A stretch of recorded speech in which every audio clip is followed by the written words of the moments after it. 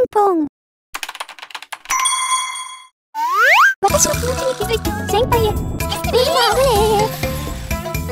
ななんで避けるんですか？何？の恨みがあんだてめえ。何って。私の気持ちに気づいてほしくて、殺意ってこと？そんな、なんでそんな答え言うならその光線銃は何なんだよ。先輩。ん私の気持ちに気づいて伝わってる。痛いほど伝わってるからやめなさい。何やお前ら、私たちの気持ちに気づいてほしくて。なら方向性を見直せ。海外での先輩の意味。英語での先輩は自分の気持ちに気づいてくれない人っていう意味で使われます。日本の漫画、アニメでは後輩の恋心に気づかない先輩という立場がよく描写されていることから、このような意味が定着したと思われます。そしてこの中で先輩と呼ばれてるのはあかりちゃんだけなので、相手役に貧乏口だよ、ふざけんな。ではすみませんが、嫌です。これからこの気持ちに気づいてもらえるようにアプローチします嫌です。お相手役お願いします。嫌です。嫌い。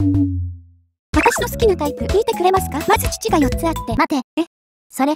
人？私の好きなタイプをバカにしないでください。えー、うちがおかしいの？あと丸々太っていて、主食は草で、すごい脂乗ってそうな感じ。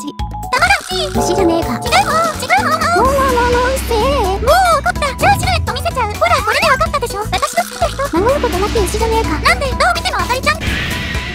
どう見ても牛です。どう見てもこれは牛です。ごめんなさい。やっぱり行動でアピールするのがいいと思うんですよ。というと、例えばこう、あざとく上目遣いするとか。じゃああざとく上目遣いをしろ。あかねも上目遣いすればもっと可愛いと思いますよ。せ、せやろか。常に意識した方がいいですよ。オッケー。もうこの表情で生きてくわ。絶対一緒に歩きたくないですね。え、わ、二人とも可愛い。おい、こいつはどうすんだよ、マジで。あかりちゃん上目遣いうまい。これはただ絶望しただけの白目だよ。